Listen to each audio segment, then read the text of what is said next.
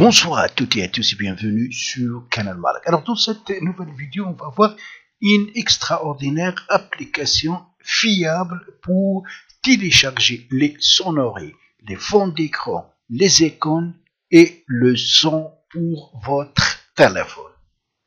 Elle est disponible pour Android gratuitement sur Play Store et bien sûr il y a une version pour iPhone disponible sur UTNES. Alors, après donc l'installation de l'application, ah, donc on va y accéder. Alors là, on a premièrement les fonds d'écran. Alors pour cela, on touche fond d'écran et on a ici donc catégorie, ça veut dire les fonds d'écran rassemblés par catégorie. Ici, on a à l'affichage, ici on a les récents. Ici, bien sûr, on a les populaires, les plus utilisés. Alors, on revient à par catégorie. Par catégorie, on a la catégorie amour, catégorie animaux domestiques et animaux, et autres, bien sûr, catégories. On va prendre, par exemple, la catégorie animaux domestiques et animaux, on la touche, et voilà donc ce qu'elle nous propose. Des superbes et belles fonds d'écran va prendre par exemple celui. Et là donc on le touche deux fois pour donc le définir comme fond d'écran. Il faut toucher ici et ici soit vous enregistrez donc l'image soit vous réglez régler ça veut dire ajuster la photo pour prendre que la partie qui vous concerne plus ou pour la définir comme fond d'écran, il suffit donc de toucher ici et donc la photo sera définie comme fond d'écran de votre appareil. On a aussi les fonds d'écran dynamiques ou autrement dit les fonds d'écran animés. Même chose, si on entre, on a ici donc la partie à l'affichage récent et populaire. On va prendre par exemple populaire qui va nous proposer donc plusieurs fonds d'écran animés sur joli, c'est super, donc c'est attirant. Prenez celle qui vous concerne, que vous souhaitez, touchez là, puis vous allez donc toucher ici et, et après on vous propose d'installer les cascades fonds d'écran animés. Après donc les fonds d'écran, on a les sonneries donc la partie sonorie, quand on la touche, on a même chose ici répartie sous forme de catégories à l'affichage les plus récents et les plus populaires. On prend par exemple ce super rington, donc on le touche pour le définir comme son. Donc vous touchez premièrement ici. Voilà, on va vous proposer, est-ce que vous voulez l'utiliser pour la sonnerie?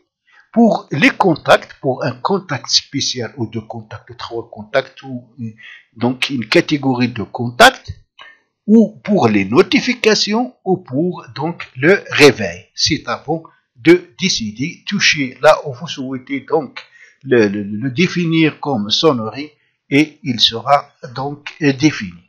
Aussi, on a les notifications. Alors, ce sont des sonneries spéciales pour les notifications. On a ici par exemple la sonnerie WhatsApp Whistle, la sonnerie iPhone SMS originelle et donc même procédure. On touche la sonnerie qu'on souhaite ajouter et puis on touche ici et elle va nous proposer donc est-ce que c'est pour la sonnerie pour contact, réveil et ou notification. On a les jeux, aussi les jeux. Donc, quand je touche les jeux, j'ai ici soit le classement par catégorie, et on a ici les noms de chaque catégorie, par exemple Axio. Voilà ce que nous propose, mais l'application ne va pas vous permettre de télécharger à partir de l'application le jeu, mais vous allez être amené à Google Play Store pour télécharger le jeu proposé. Et aussi, ce qui est important, on a les icônes. Dans la partie icône, on a donc les packages d'icônes ici et les catégories d'icônes. On prend par exemple ce package, on le touche, et voilà donc ce qu'il nous propose, un ensemble d'icônes. Donc, vous pouvez, pour ça c'est un icône pour Internet, pour Facebook, pour cœur et pour Instagram et ainsi de suite. Donc, prenez l'icône que vous souhaitez donc ajouter et on va prendre par exemple celui-là pour Internet. Alors maintenant, vous allez choisir donc euh, l'application pour laquelle vous souhaitez donc l'utiliser comme icône puisque c'est Internet. Donc il faut donc le, chercher Internet, quelque chose qui va le permettre de naviguer sur euh, le web. Et cliquez dessus et bien le raccourci jouera le rôle de euh, l'icône ou de l'écran pour l'application euh, euh, désignée. On va prendre par exemple pour Internet, donc je le touche comme ça et voilà, il est ajouté. Vous pouvez faire même chose pour les autres écoles.